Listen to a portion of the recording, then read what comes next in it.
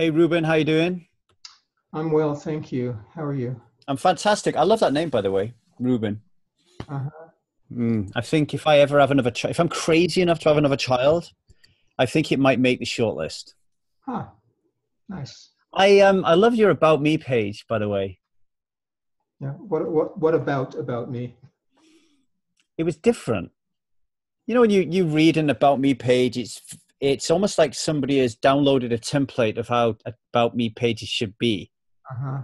and you read them almost rote like. But when I read yours, it was funny. You know, saying about how you like were experimenting in the 60s and then the next thing you know you wake up and you're married and you've got kids and that kind of stuff. And i just thought it was a nice touch rubin. It made it made, made me think oh this guy's human. I like that you know? Because sometimes when you're on the internet you can't really get a flavor about how people are you know yeah. Well thank you. I, I have to go back and reread it. I haven't looked at it in a while. It was good. It was good. So let, let's start straight off the bat because i know we've only got an hour together. I have a community forum with a lot of people on there at the moment uh, who have just quit alcohol or are considering it or trying to to quit alcohol. And the one thing that seems to kind of like be bugging them all is they've gone from a period of I don't know half decent sleep to non like to insomnia. They they're really struggling to fall asleep. Why is that happening? Because they've quit alcohol. Well, first of all, when you say they've gone from a period of half decent sleep to really struggling with insomnia, you know, the picture I get is that they slid halfway down the hill and now they're sliding the other way. And the problem really didn't start halfway, it started before. In fact, there's, there's really interesting data, survey data that shows that a little over 50% of adult alcoholics state that they started drinking in their teen years mm-hmm. primarily because they couldn't sleep, which is fascinating. Right. it's true that that uh, in the short run, in the very short run, alcohol can give you the impression that it's good for sleep. Mm. There's a little bit of alcohol that's soporific; it'll help people fall asleep. In fact, there's an interesting parallel with cannabis, with marijuana. They're, they're mm. similar in that way. Um, it, so more and more people have, have, been using alcohol for sleep onset you know, there's the classic notion of, of uh, that, that shot at bedtime. Mm. And again, it will, it's soporific, it'll help people fall asleep. But alcohol, as it burns off, as it, it's, it's digested, creates what, what's called an adrenergic response um, because alcohol puts the brakes on.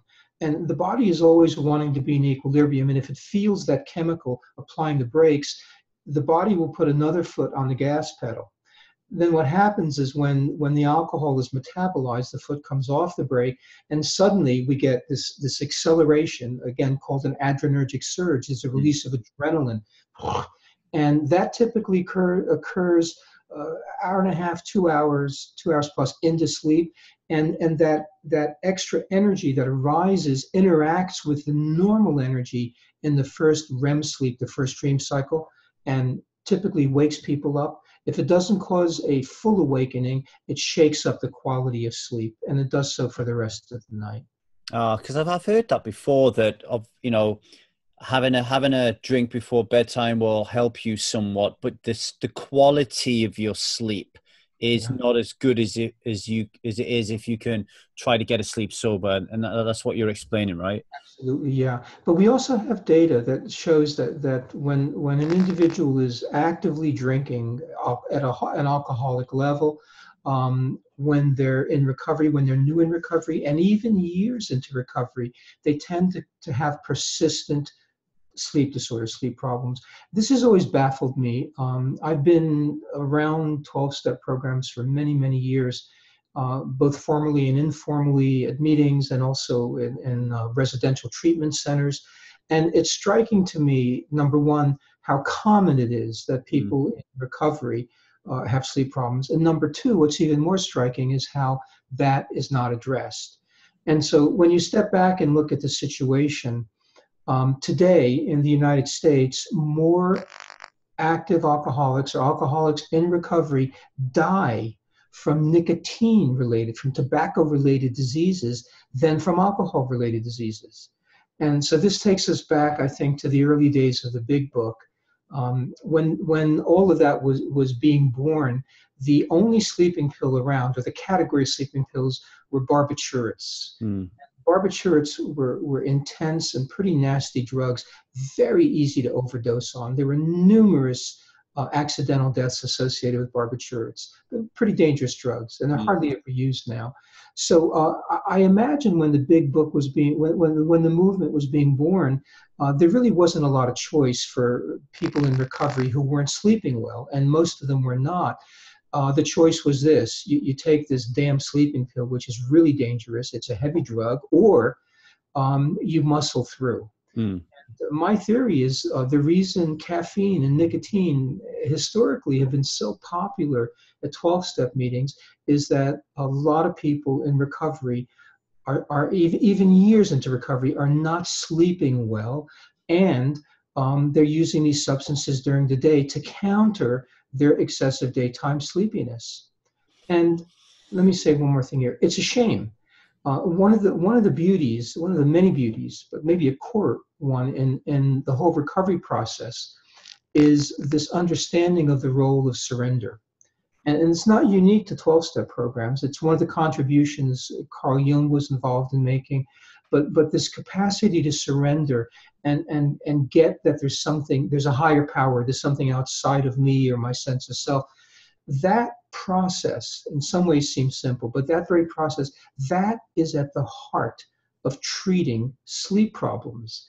Uh, so you know people in recovery are just an inch away from dealing with their sleep and it, it's so consistent it's so much a part of what the you know is essential to recovery. So I, I, I don't get I don't get why it hasn't caught on in treatment centers.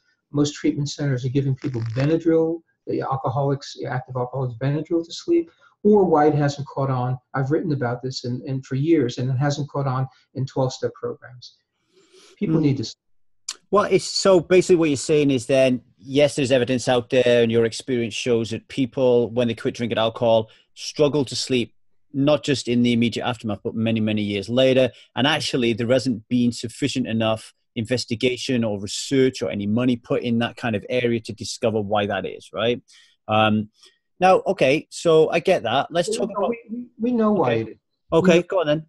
Yeah, so so sleep gets thrown off pretty dramatically with alcohol. Uh-huh. I just, I just uh, recently, this in the past few weeks, uh, published a paper for the uh, Annals of the New York Academy of Sciences it's called Dreamless, the silent epidemic of REM sleep loss. And mm-hmm. the very first thing I talk about in that paper, so, so the essence of the paper is that we are not just suffering from lack of sleep. It turns out that uh, most insomnia doesn't actually deprive us of sleep. M- much of it does, but it deprives us more of dreaming. Right alcohol is is an incredible inner it incredibly interferes with dreaming. It, it, does. It suppresses the dreaming of millions of people. And by the way, I, am not a teetotaler. I, I think for some people, a glass of wine with dinner, there's some evidence that that's fine. But that's mod, you know, real moderation with food. You know, where where alcohol is driving one's life and not replacing spirituality. Mm. But uh, you might know this 25 million Americans have an excess of 10 drinks a day. Mm. I mean, and that's toxic. That's poisonous. I mean, hmm. that, that's the, the, the, peak of the iceberg there. But many, many more millions are drinking less, but still excessively. So, anyhow, we, we are not just losing sleep, we're losing our dreams. And sleeping and dreams are so interlocked. Um, you, you can't sleep well unless you dream well. You can't dream well unless you sleep well. So, alcohol not only damages REM sleep, it throws off circadian rhythms. It essentially uh, dislodges the whole sleep process. It changes it in the brain. And so, even when we stop drinking, when we're in active recovery, that needs to be corrected. It's almost right. like a broken bone that doesn't heal properly. And being in recovery per se will not heal our sleep. We need to focus special attention on healing sleep and dreams. Are we saying then that the people who believe their sleep has got worse since they stopped drinking alcohol, are we saying that it's very likely that their sleep problems began when they started drinking alcohol anyway, and there's there's a little bit of bias there in as much as they think is. Are we saying maybe it's because they're more awake now because they're not the brain's not as foggy as it used to be because they're not drinking anymore? that suddenly the lack of sleep that they used to have anyway is just more prevalent? It's just never been any different? It may well be that they're much more aware of it. Mm. And, and the primary symptom, uh, I mean, aside from the obvious, when people aren't sleeping well, uh, they know it at night, but that symptom tends to be swept under the rug. You know, it's something we do uh, uh on our own. It's dark, it's night, we're in bed. Mm. We hmm. get up in the morning, you down some coffee, and uh, you know, we, we come back to this waking world with, you know, millions of like walking wounded, you know, emotional mm-hmm. zombies who haven't enough sleep. It's part of the culture. But the, the, the most visible symptom of sleep disorders during the day is daytime sleepiness. And, and again, I think that drives a tremendous amount of dependence on caffeine and dependence on uh, high glycemic foods, sugary, starchy foods, dependence on drama. Um, you know, we, we unconsciously seek sources of energy to keep us awake, or, or for many people, nicotine, tobacco. Mm-hmm. Okay, two questions on that, if that's okay. Um, you said that it's not just alcohol; is just not just robbing us of our sleep; it's robbing us of our dreams. Yes. Why? Why are dreams important to sleep? Because I've never ever thought about that before.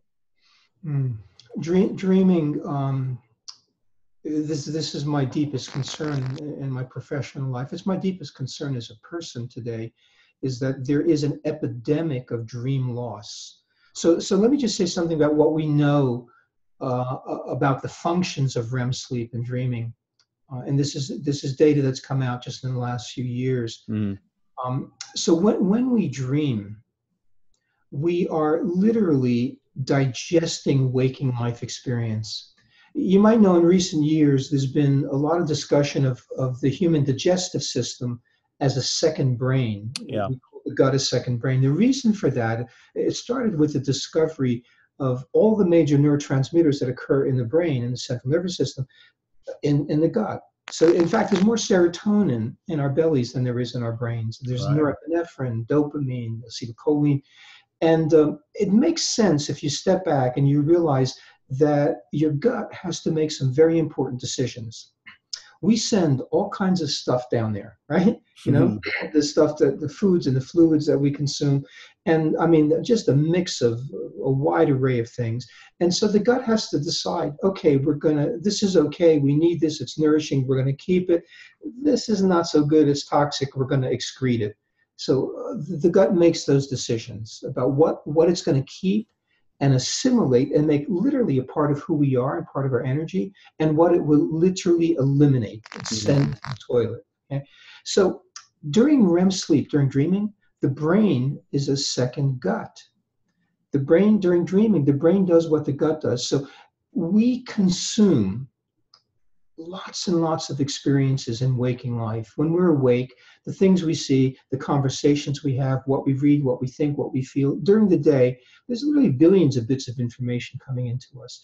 And the function, one of the functions of REM sleep is at night in dreaming, in, in healthy dreaming, metaphorically, the brain will chew on, swallow, digest, and sift through all of these experiences. And what, what the brain in dreaming decides to keep, it will then incorporate into our being.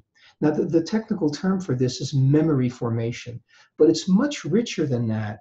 Uh, it, it, it changes who we are. So the Greek god of dreaming was Morpheus the root of the word morph. Dreaming morphs us. We grow in our dreams. We, we, we take in new experiences, new relationships, new emotions. And then there, there's, there's stuff that we don't need that is excreted. In, in this process, something else very important happens.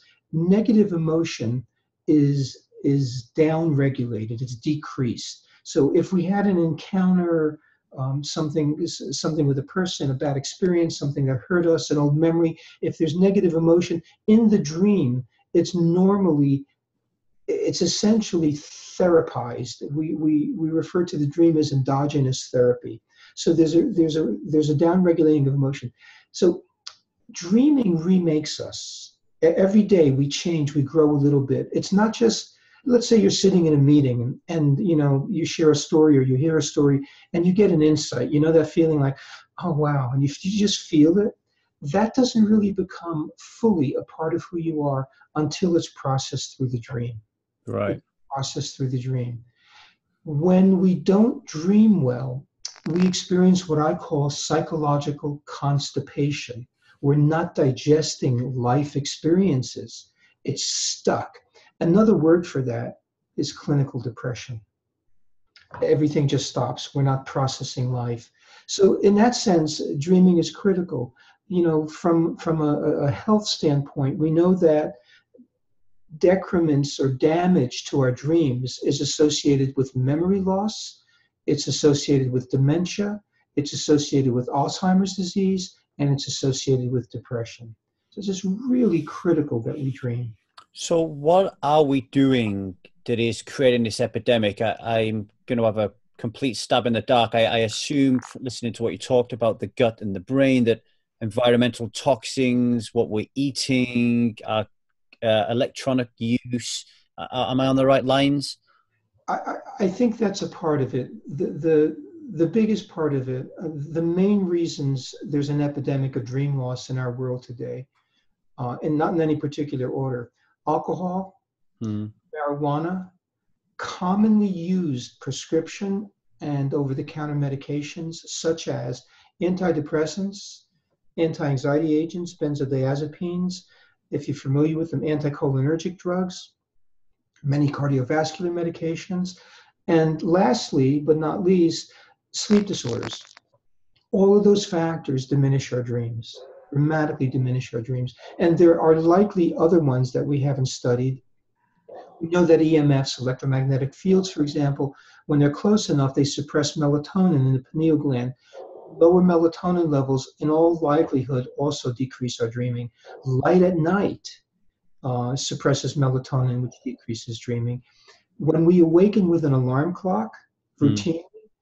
we're snipping off the end of our dreams because we do most of our dreaming in the latter part of the night. It's like somebody handing you a really good short story and saying, wait a minute, and then tearing off the last three pages. We never finish our dreams. if I may say, there's yeah. another I think very critical to, to recovery work. There's another piece to dream loss. Um, there's a spiritual piece to it. So dreaming is not just this movie that we see at night. In the dream, the way that we see is exercised. So uh, the great philosopher Schopenhauer said, most of us mistake the limits of our own perception mm-hmm. for the limits of the universe. You know, if this is mm-hmm. what I see, this is all there is. Right dreaming does is it expands consciousness you know, to use a term from the 60s dreaming exercises our ability to expand our view of the world today most of us learn most of us have developed what i think of as microscopic eyes. We're so interested in the details you know? In, in science we, we want to fill in the, the, the sort of missing pieces right? Uh, which is fine but we we lose the forest for the trees. And mm-hmm. that's the spirituality is the bigger picture. So when we lose our dreams as in my article i open with a rolling stones quote that says lose your dreams and you will lose your mind i mm. think it's it's quite literal we really lose our mind we lose our spirituality so dreaming has been referred to as the language of god and i think in our dreams our, our dreams are personal dialogue with the spiritual world uh, we don't have to go through a middleman to do that. That we have we have potentially direct access there.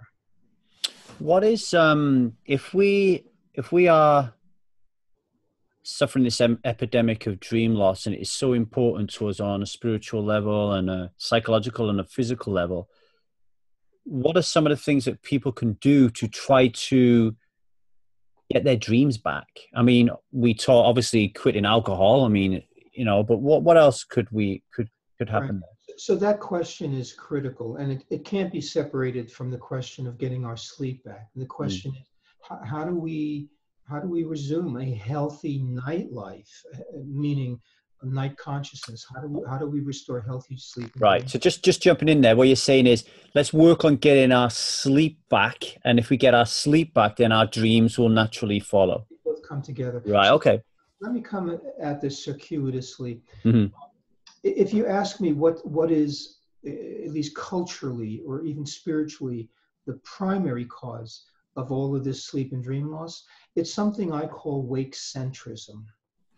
This is a term I, have made up and I use in my writing. Wake centrism refers to this idea that we have a bias toward waking, ordinary waking consciousness. Um, we believe that waking is where it's at. The, the, there's a premium on it. And so there's three kinds of consciousness, obviously. There's waking, sleeping, and dreaming. Mm. But we look at sleeping and dreaming as being secondary and subservient. yeah. Think about sleep and dreams. You know, I got to sleep well, so I'm, I'm a better waking person. Mm. I, I got to dream well, and I can I can use my dreams. I can juice them and find out about my psychology and be a better waking person. Now, I'm not arguing against waking, but we've lost sight of of this this unified, broader expanse of consciousness of, of the, who we are includes waking, sleeping, and dreaming. And um, the point I want to come to here is, is uh, I believe very firmly that we are, as, as a society, addicted to waking life. We're addicted to waking. And uh, there's part of me that wishes that somebody would start a 12 step program for insomnia because insomnia is not um, it's not that we don't have enough sleep that's the symptom it's that we have too much waking we, we, we, we believe waking is where it's at we try to use the waking mind to do everything in fact we try to use the waking mind to get to sleep mm. the part of us that we call i right we all call ourselves i usually it's the ego or the waking self the part of us that we call i is incapable of sleep it just can't. It's the waking self. Mm. It, it can walk us to the edge of the waters of sleep, but it can't swim. And a lot of people get stuck right at that edge. You know, uh, it's like trying to pull yourself up by your bootstraps. Bootstraps. And here's where surrender comes in. So, uh, an essential part of getting to sleep is learning to surrender the waking self. Really learning to let that go, being willing to let that go. Now, that's tricky uh, Hypnos, the Greek god of sleep, uh, was brother to Thanatos, the god of death. And uh, in many sacred traditions around the world, there's an understanding that the act of getting to sleep is a profound act of surrendering the self, which feels, can feel like a kind of dying. Mm. So the Dalai Lama, in fact, said that the psycho-spiritual process of falling asleep is identical to the process of dying. It's going to make a lot of people not want to go there, right? no, but it makes it makes perfect sense, right? Because when people say they're afraid of dying, yeah. and and that leads them to drink, I, I often think, well, you kind of die every night. You you, you close you close your eyes and you and and to all intents and purposes, you're dead. You're not, you know what I mean. So and you're not afraid of going to sleep at night. Well, not everybody, but so wait, waking self is dead. Yeah, I, I think what you just said then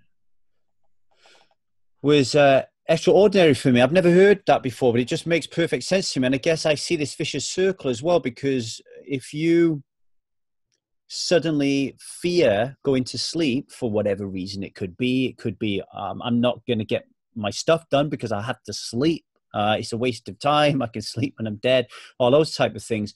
I have to be awake. I'm addicted. Yeah, you're going to be stressed out, which is going to make it even more complicated for you to sleep. So I guess the million dollar question is, um, how, even knowing this, how do you then surrender? How do you? What is the process? And I'm pretty sure it's not a short term thing. How, what what daily practices do we need to incorporate in our lives to surrender? So let, let me go back a step. Um, Mary Oliver, the poet, has a, an exquisite poem. It's actually the best spiritual description I've ever witnessed of sleep. The poem is called Sleeping in the Forest. And she starts out by saying, I thought the earth remembered me. She took me back so tenderly. And there's this sense of returning her body to the earth. Mm. So, our addiction to waking you know, I, I, mean, one of the fundamental obvious differences between waking and sleeping that we never pay attention to is when we're asleep, we're horizontal. Mm-hmm. Fact, there's something humble. In, we're, we're all the same size in bed, pretty much, you know, we're just a few feet off the ground. So when we're asleep, we're horizontal. When we're awake, we're vertical. Um, that vertical wakefulness, that our addiction to waking, psychologically and spiritually, keeps us vertical. And um, the, the technical term we use for that is hyperarousal. And this is an important concept. Um, and in fact, it's related to why some people drink. Hyperarousal technically means that we are excessively awake. Now that makes might sound nonsensical. People think people know that okay, I can ha- I can sleep at different levels. I can be in light sleep, you know, moderate sleep, deep sleep. The truth is, we can be awake at different levels. You know, we can be groggy and kind of you know just languid and slow, easy wake, or we can be you know um, downtown Manhattan in the middle of rush hour, just buzzing, right? But in our world, over the years, the standard for waking consciousness has metaphorically gotten faster, faster, and faster. In fact, if you listen to people talk in, in most places now, it's like AM radio. You know, it's like. Mm-hmm. And so we are excessively awake, and this is a concept that, that is well defined and well measured. We measure it in terms of EEG, uh, waking is associated with what we call beta EEG. Many, many people are actually flying in high beta. Their, their, the brain is buzzing, heart rate is up. It actually raises core body temperature a little bit, but a significant amount. Uh, it increases sympathetic nervous system reaction. So the way we do waking, it's high altitude waking, hyper arousal, makes it hard. It's as if we are airplanes, but we're flying so high we don't have enough time to descend at night and then to land. And we also, because we go so fast, we need a longer landing strip. So that's hyperarousal. Hyperarousal keeps us from sleeping at night. I believe hyperarousal is one of the main reasons people start drinking. People people self-medicate because they're buzzing and they don't know how to come down. Mm. Not surprisingly, the antidote to hyperarousal is humility it's humility. So let me just share a story. I learned this from my dog many years ago. Uh, dogs in, in Jungian psychology, the dog is the archetype of humility. You know, dogs, I, in my experience, are the most humble creatures on the planet. You know, they're just so damn humble. and so I'd be out in the backyard throwing frisbee with my dog Isaac. He's a Siberian Husky, and I swear to God, the dog could fly. I mean, he just loved this, and he'd be impassioned and up there 20 feet in the air and just grabbing this thing. It was always like in slow motion. And then, then my cell phone would ring, and he'd look at me, and I put the thing in my ear, and he'd give me one of those dog looks, like, "Yeah, really?" With frisbee in. Yeah, and and but he learned, you know. I mean, you know, I'm on the phone, and then within this is what blew me away. Within a few seconds, he was like a bag of bones on the ground and asleep. Mm. It just blew me away that he could be so impassioned, so aroused, so high, so awake, and then come down. And that's the humility of a dog. So I thought the earth remembered me. She took me back so tenderly. Um, the metaphor of sleeping on earth is actually it's a metaphor of humility. The word humility comes from the Latin humus, which means earth.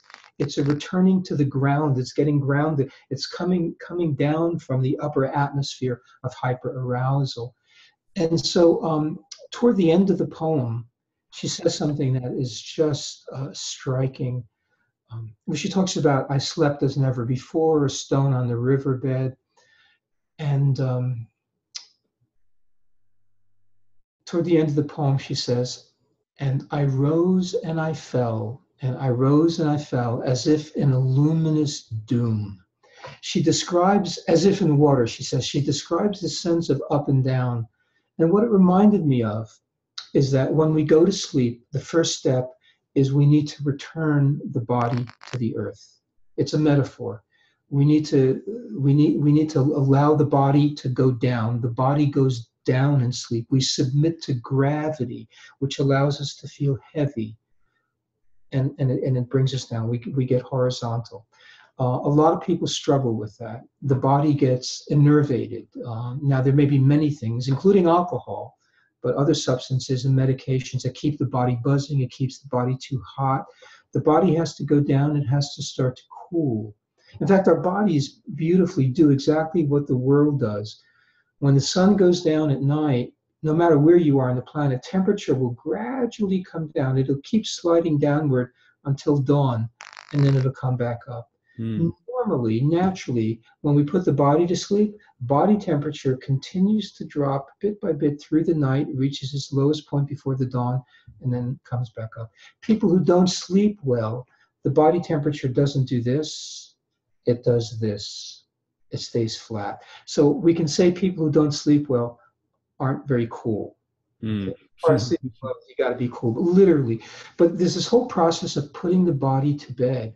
It's like putting your pet to bed, you know, in a loving, compassionate way, making sure it's comfortable, making sure the room is cool, making sure it's dark.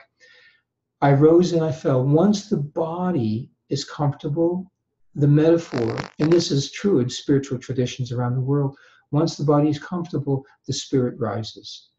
The body goes down, the spirit rises. The spirit rises into sleep and into dreams.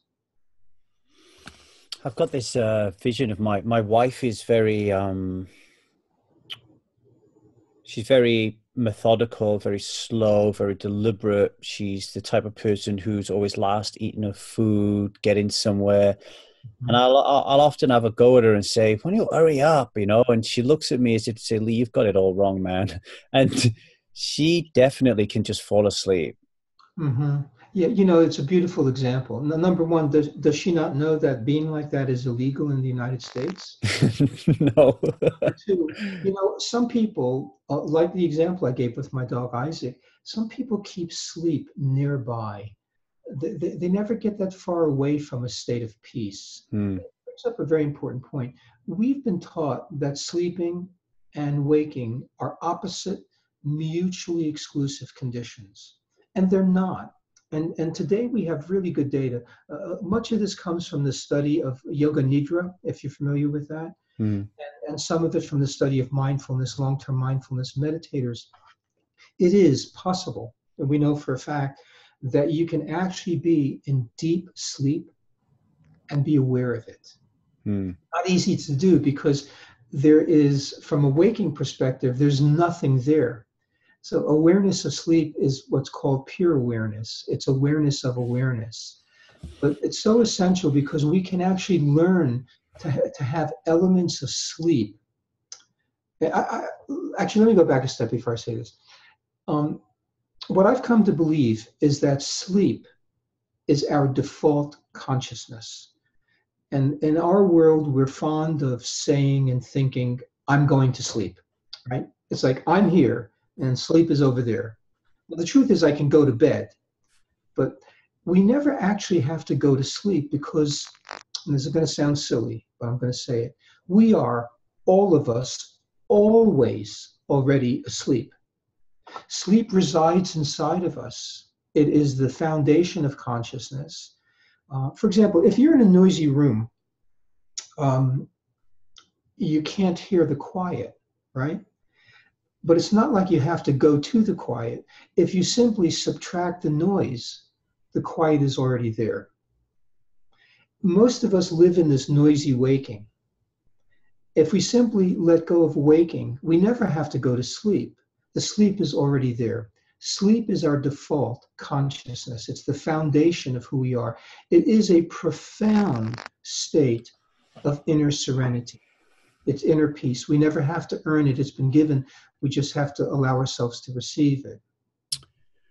I um I worked in the rail industry for 20 years. I left school when I was 16, joined the railroads, and I was there until I quit alcohol and was brave enough to quit. And I got myself into a position where I was two uh, steps away from managing director. So I had quite a lot of responsibility. Mm. And uh, I struggled to sleep. And I I didn't realize how bad it was until the day I put my notice in and it was accepted. And they immediately put me on gardening leave, which means I couldn't go back to work. They were like, yes, you can go, but you cannot come back to work. And that night, knowing that I would never, ever, ever, ever again have to set my alarm clock to wake me up, mm. that nobody would ever ring me to tell me they trapped their fingers in a wagon door, that I would never have to listen to another person dying on the railway or another train being late. All of those thoughts. I slept like a baby that night. Wow. And ever since then, the only time I can't sleep is when I'm with sleeping with my one year old daughter in bed with her, or I have to get up for something. So I have to set my alarm to catch a train or a bus to do something. Then I'll struggle. So mm-hmm. that that Rubin got me to try to educate people uneducatedly around sleep and, and alcohol stuff was well focus on what is it in your life that is like creating so much stress and anxiety and remove it and when you remove it a little bit like your metaphor about being in the room with the noise then what remains is stillness and calm right right and that i think that's the case in recovery process too uh, pe- people are encouraged to understand their own sense of higher power and for many people it, it, one way or another, it has to become an experience. It's not just an idea. It's not something something you read in a book or somebody tells you. It becomes an experience, and that's the case with sleep too. Mm. I really believe that that when we feel peace during the day, during waking, that to me is an expression of sleep. That's identical with sleep. We're part awake and part sleeping. Hmm. You said earlier on, uh, a long a long time, right towards the beginning, then about people um, getting very sleepy during the day. Mm-hmm. Should people be having more sleep in the day? Well, it, it depends. Um, if somebody is not sleeping well at night, if they have insomnia, trouble falling asleep, or staying asleep, we generally discourage napping during the day because mm. we want them to stay pretty sleepy as part of the process for overcoming their insomnia. But uh, otherwise, a, a nap during the day is really ideal. Um, usually we recommend approximately 20 minutes, 25 minutes in the middle of the waking day. And, and there's good evidence that that actually, it improves somebody's mood, it decreases blood pressure, it improves creativity. Uh, Yogi Berra, the baseball player, used to say, I take a two hour nap every day from one to five.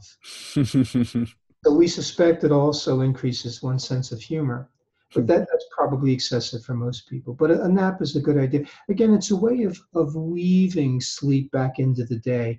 Uh, back back to your comments about your wife.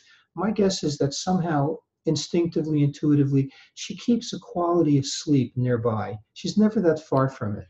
She's also very into her dreams. Like she'll wake up in the morning and she will tell me her dreams and I'm mm-hmm. like, oh, you're boring me, but she'll tell me her dreams. She believes they really mean something. She will Google them to understand what they are. Um, mm-hmm. whereas I'm a bit more like, sleep is a pain in the ass. I like it when I'm sleeping, but I, I struggle to get there because I want to stay awake watching a movie or doing more work or something. So I, I don't think that is um, a coincidence. I think, like you say, when you start to really deeply think about this in a spiritual sense and feel it i feel feel it is the right word yeah i'm always up here feel it yeah perfectly i can i can totally get that so my advice to people hasn't been that far off right so my advice to people which has been very dramatic actually is look if you want to sleep change your job and find something that you love right um now that is very difficult for a lot of people obviously mindfulness, meditation, uh, I imagine long term is going to really help. Uh, yes, definitely. What about what's your opinions on these things like melatonin, supplementation, yeah. um, lots of different devices and stuff? Step with something you said that that you, you tend to be in your thinking mind a lot, and you'd rather watch a movie than sleep. Um, what I hear is that you'd rather watch a movie than be in a movie. Because when you sleep and you dream well, you're not just watching the movie, you're a character in it. Um, let me um, ask you. Let me ask you about that then. Is that if that's okay? Why? I used to. I had this time when I used to have very lucid dreams. So for people listening who don't understand what that is, I could control not everything in my dream, but here, here's what used to happen in my dream one, I would know that I was in nightmare, and I mm-hmm. would scream and scream and scream to wake myself up to tell myself to get out of the nightmare. The other one that used to happen to me a lot, and this one still happens to a certain degree, is is sexual dreams. Mm-hmm. Knowing that I'm in a dream of sex and trying to push myself to achieve orgasm very selfishly in my sleep. Mm-hmm. But today, other than the sex dreams, everything else has disappeared. I don't have those lucid dreams anymore. Why do you think? I, after talking to you, I think it's because my uh, my I'm I'm going against my natural state of being. My natural state of being should be asleep, and I'm kind of like trying to bury that, trying to just keep this waking life top priority. Are you getting enough sleep? No. So the the brain and the body prioritize sleep over dreams. Just just as the brain and the body actually prioritize fluids over food. Mm. If we're deprived of food, we can go for weeks, but you can't go without water for more than say three days. Um, so if you if you don't have enough general time, you know, let's say you need seven hours and you're only getting six, or you need eight and you're only getting seven, you're not going to lose sleep. Mm. You're going to dreams because the, the brain is hungry for the sleep. And, and so it's quite possible you're not getting enough dream time. Mm. That would affect the quality of your dreams, not just the quantity, but the quality. Okay. All right. I, that makes sense to me. So go back to the question that I jumped in on uh, on the melatonin and stuff. Yeah. So so number one, uh, alcohol disrupts melatonin melatonin is um, is a very unique neurohormone. It, it's in the brain. It's in other parts of the body. It's produced by the pineal gland, which we associate with spirituality, the third eye. At night, when the retina, when the eye detects dimming light and then ultimately darkness, total darkness, it ramps up the production of melatonin. Melatonin is is kind of the queen of our nighttime physiology. It runs the night shift in the mm. brain and the body. So it's much more complicated than sleep. It includes sleep and includes dreaming. So melatonin dilates peripheral blood vessels, all the vessels under our skin. It opens them up. What that means is that it cools us down because when blood comes to the surface, it releases heat, which is so essential. You know, we need to be cool at night, yeah? Mm. Melatonin also triggers a very complex cascade of changes in, in, in the brain, which initially triggers sleep, drops body temperature, and then when melatonin levels are peaking out, when they're at their highest, it's in the last third of the night. That's when we do most of our dreaming. So there's a strong correlation between high melatonin levels and dreaming. And here's the rub. Uh, I believe in our world today that the vast majority of us, I, I'm going to say 98% of us, are melatonin deficient. Why? Mm-hmm. Very simple reason. Even small amounts of light at night suppress melatonin. And most of us are way overexposed to light at night and the quality of the light at night. Um, so there are measures we can take to, to filter light. Uh, I have a light on my desk. I don't know if you can see it here. Let me, let me bring it over. Um, uh, yeah, yeah. But it's kind of an orange light. Usually, if I'm working at night, this is the only light that I'll have on. Um, it's called a low blue light. Right. Light bulb that filters out the blue wavelength. Most light, most screens have a lot of blue. Uh, blue light, the blue wavelength specifically sends a message to the brain to suppress melatonin. So if we can get rid of blue light at night, we can wear blue blockers or have screens. Newer smartphones have programs that actually dial down the blue light. Um, there, there is an app. It's a free app available for computers that also dials down the blue light in the computer. Yeah, it's called Flux. I use it. Yeah. Flux. Yeah. yeah. yeah. So the, these are all good things to do. And uh, the other the other option, of course, is to take a supplement of melatonin most people, I believe, who use melatonin are really misinformed about it. Mm. Uh, most people I encounter take much too much melatonin and they take the wrong kind. There are basically two kinds there's regular release and time or sustained release. Um, the regular release formula is not the best to take on, a, on an ongoing basis because melatonin has a short half-life. So it'll it'll peak up, it'll spike, and then it'll come down in the first part of the night, and you don't want that. So a time released will stay present through the night. And melatonin, even small amounts, a half a milligram, a milligram of time release, will for many people help them get back in touch with their dreams. I'm going to try that. I'm one of these people where my my wife used to take melatonin and she would suggest I take it before going to a flight or something. And I, I'm one of those people say, I'm not taking that rubbish. That's not going to work for me. You know, I'm, I'm the same with aspirin. If someone gives me uh, something for my headache, so I think I'm going to try it and see uh, what happens.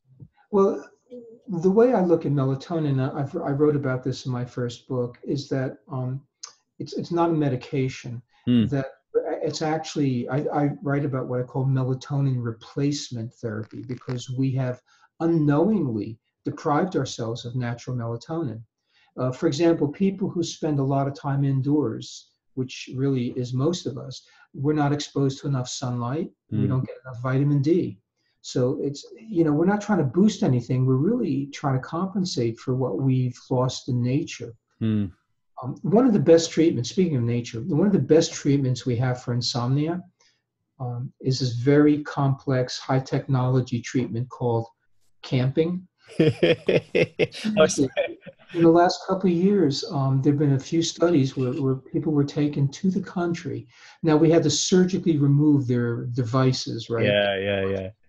But when when you when you reconnect with nature, nature has such a profound effect on our circadian rhythms, changes in light and darkness and temperature and clean air. It really helps us when we get back into that that dance with nature. Mm. Really helps us sleep.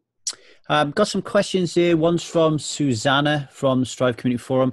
Susanna said, uh, "Since since as, since as a child, I've always remembered my dreams, except when drunk. Often, some of this some of these seem to come true. So some of the dreams seem to come true at a certain level. Uh, it always seemed weird to me, to be honest. But the last year or so, the recurring dream is of me trying to leave a place, but something's preventing me from leaving there. My question would be if there's any substantial connection to our actual current situations and struggles with our dreams, and how, if even, we can translate that. I guess that touches a little bit on what you were saying earlier on about that kind of being that sponge. Well, that, that question has a lot packed into it. Um, first of all, let me comment on precognitive dreams. Um, I, have I've spoken and I speak about dreams uh, all over the world. And um, I, am always fond of asking the, the, group of people, how many of you have ever had a precognitive dream? And, and people start to do this. The hand goes up, and they kind of look around because they're afraid. but generally speaking, about half the hands go up um, this is not coincidence. And, and, uh, and then I say, how many people have had repeated cognitive dreams? Half the hands go up. So this is a very common human experience. I think if more people paid attention to the dreams and had their dreams, almost all the hands would go up. It's not unusual. My my dream teacher was uh, shamanic in orientation, and he taught us something unusual.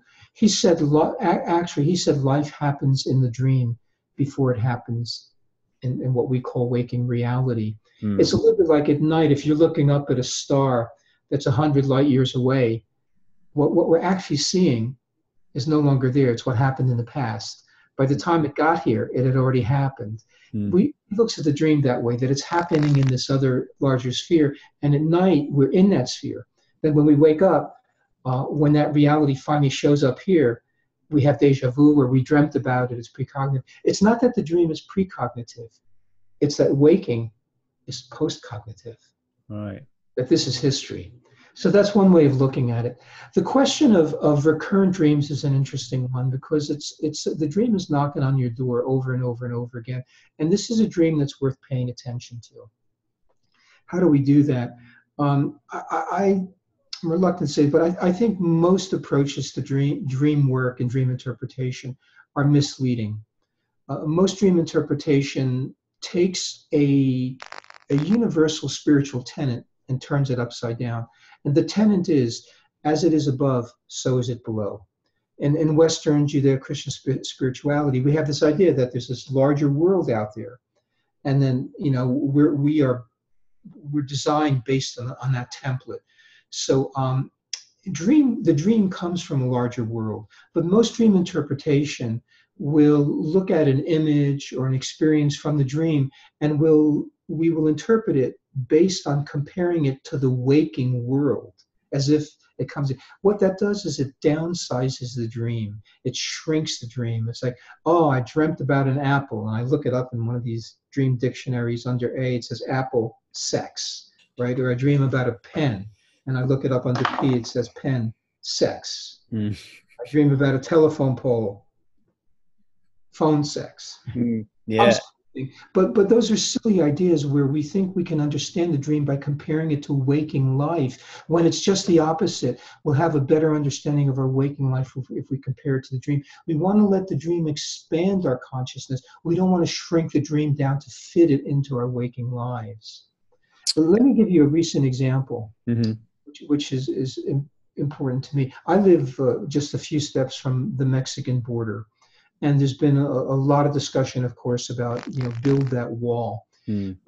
In in dream work, uh, when we dream of something, when we in North America or uh, uh, Europe, when we dream of something geographically from the south, when the Europeans would dream of Egypt, which was below, or we dream of Mexico or, or South America, usually that the geography is a reflection of the depth of the dream. So my, my teacher was delighted if I dreamt about Brazil or Mexico. I was like, wow, this is a deep dream. Right. Um, and so in my work, in, in, in attempting to call attention to the fact that there's been a dramatic epidemic of dream loss, what that means uh, is that we've really cut ourselves off from deeper parts of ourselves, right? Mm. And uh, in, in one respect, we've created a wall. So this idea of building a wall to separate North America from Mexico, I think is a symptom of a much deeper issue uh, that we've already built a wall that separates our higher waking self from the depth of our dreaming self. I think that the idea of a wall actually follows something that's been going on for 20, 30, 40 years, which is walling off the dream world. That's that's uh, really interesting because um, there's a lot of people on the forum right now who have just are in the process of giving up drinking alcohol, and they're very, you know, they're only like a, um, a month in into their journey, but they're already starting to realize that many, many moons ago they sold their authentic self to the devil and they're just now finding it again at the age of 40, 50, 60. And I think as that continues to happen, people are going to become more in tune to that deeper part of themselves which they've lost. So if you're listening to this, Lou, and everybody else who's struggling to dream, I just think just keep doing what you're doing, and eventually your dreams in your sleep, as long as you give yourself um, enough time to sleep, uh, you take on board um, the philosophy of what Rubin's been talking about and adapt that to your life. Eventually, you're gonna come out of the other end of this having really good sleep and, and good dreams. Um, one more question before I let you go. Um, the only recurring dream, and this is a personal one for me, I'm being selfish here, folks, when I was uh, a lad, I was a drinker, and um, I probably was in my late teens, maybe 17, 18. I had a recurring dream twice where I was sleeping with a woman who was a friend. So it wasn't a sexual relationship. Each time it was a different woman. I woke up. The time was the same. Pretty sure it was half past two in the morning. I looked at the clock, saw the person next to me, and I was I was awake but then I can't move. And then something is at the end of the bed and it runs up into my face and I can't describe it. It's almost like it just went, and then it disappears. I wake up for real, but it's like I've never been asleep, that I wasn't dreaming. And that happened twice. Mm-hmm. What mm-hmm. the hell was going on, Rubin? The, the technical term for that is a, a hypnagogic dream or a hypnagogic hallucination. Um, I think it's a terrible term because it, it, it diminishes the experience. So this is uh, not an uncommon experience, and there are a couple of parts to it. Number one, when you wake up and you can't move. Um, when we go, when we first go to sleep, we actually cut off the sensory world. We literally close our eyes. We stop hearing with our ears. We stop feeling with our touch senses. So we're no longer getting input from the world. in sleep. When we continue on into REM sleep, into dreaming, in addition to cutting off sensory input, we lose motor output. Technically, we become paralyzed when we dream. Hmm. That is our voluntary muscles, the muscles we move or speak with. Now, everything important, your heart, your digestion, everything essential is on automatic pilot. You don't have to worry. You breathe, the body's breathing itself. But consciously, if you happen to awaken before that switch is thrown back, you will experience what we call sleep paralysis. Mm. It's something I had, uh, I've had a number of times. So I know what it's like. Um, so the other part of this is when you're sleep paralyzed, your your your system, your body is still in the dream, but you're part awake and part dreaming, and so you're in between worlds, and that is um, the the the waking world and the dream world are no longer segregated, which we do in our lives, and they come together, and it is a breathtaking. It's an astounding, uh, often referred to as, and this is a quote realer than real world where these two worlds come together. And it can be incredibly beautiful or incredibly frightening. Often there's the appearance of an incubus. This is what you're referring to. There's, there's this dark, and this is across cultures, mm. a hmm. frightening image. Uh, sometimes it's sexual, sometimes it's attacking, sometimes it feels murderous but it, it feels demonic to people. The hair stands up on the back of your neck. You can't move. This thing is encountering you. There are many, many discussions of this image. And again, science thinks of it as a glitch in the brain. From a, a spiritual uh, spiritual perspective, you're actually in the astral plane. You're encountering a being that's been disembodied. And we don't have much time, but let me just say a couple of things. Number one, it cannot hurt you. It simply cannot hurt you. And number two, and this is really difficult, but I, have dealt with this with many, many patients over the years. Um, the, the way we deal with this is we encourage a dialogue. You simply say or you think, it's shadow work. You, you, you, talk to the shit, you talk to the demon. Do you know but why? in the New Testament, there's three places where Jesus encounters demons. And you would think Jesus would say, Hey, in the name of the Father, be gone. He doesn't he's every time he says basically says the same thing. He says, "Come here, come here, sit down, have a cup of tea. Tell me your story." So this is how we deal with darkness as we engage in dialogue. And in my experience with patients is when they they'll say to this dark figure, "Who are you? What do you want? You know, do you want something from me?" Uh, you start a dialogue. Mm. It, it will instantly transform. It will disappear. It will turn into a butterfly. Um, so this is an it's it's an act of courage. That's that that is really good because I've been having these issues since I was a child. Um, my most recent one was um, not that long ago actually. I, I woke up and there was an, an incubus right next to my bed and, and it was it's always uh, a, an old lady lately. And, and I, I uh, succubus. I jumped so I jumped and what I do is I jump and I and I get so terrified I just hit the light switch and obviously it's gone. So what I do now is I sleep with a sleep mask because I'm afraid of bumping into these things. So this is a great example, and we call it shadow work. It's it's a it's a deep part of yourself. It's a deep fear, and everybody has this. The essence of shadow work is that we find diamonds in coal.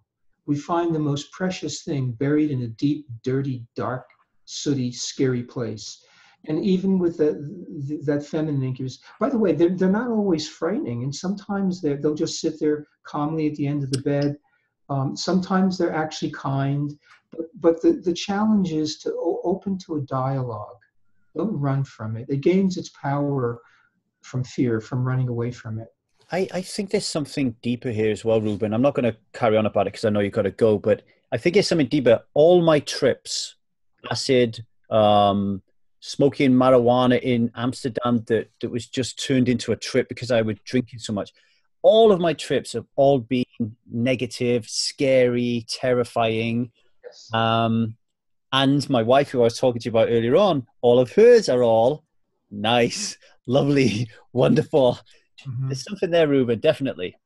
Something worth thinking about. Yeah. Rubin, that has been absolutely fascinating. I've learned a great deal. I think my I know my audience are going to get a lot out of this. I'll put all your uh, notes to your books and your website and everything. And I know you do a lot of talks around uh, America. I'll get them all on the show notes and um, so people can get in touch with you. Thank you very much. You know, I, I've written for Huffington Post for some years, so I have about 50 articles available. Mm. And all of this is listed on my website. Lots of free articles that people can access, and of course, books and CDs. Great. Thank you, Rubin.